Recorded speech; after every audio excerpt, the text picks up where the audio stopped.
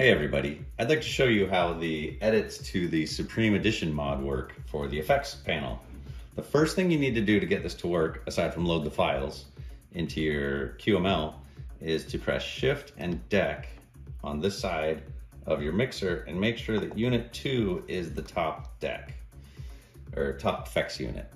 So the way it works is you come over to the effects mode, and the way I have it set up is the top row are single effects and maybe groups, and then the bottom row are dynamic effects, which means they have animated um, values. This last one I use just to load effects, but it's not gonna um, turn on any effects. And let's go through it. So first, just press this one. It's just a delay, let go back in. You can also do these effects as toggles.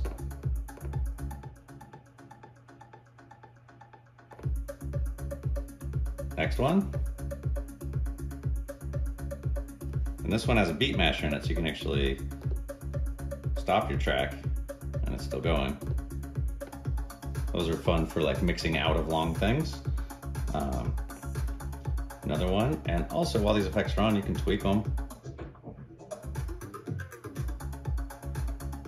that one off.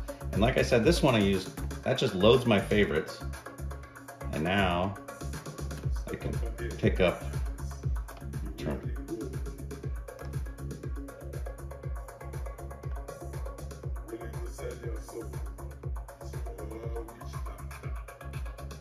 And just tweak away. And then turn it off. Now, the cool part of this mapping and what motivated me to make it in the first place is the bottom row. So here we go. Let's see some dynamic effects. And as you see, the values of the effect are changing. Try another one.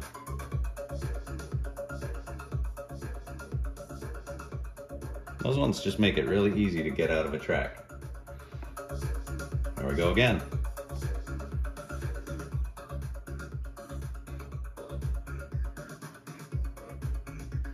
Never before has one finger had so much power.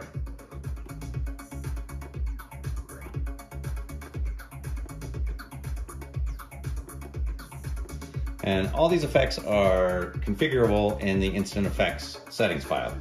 Enjoy!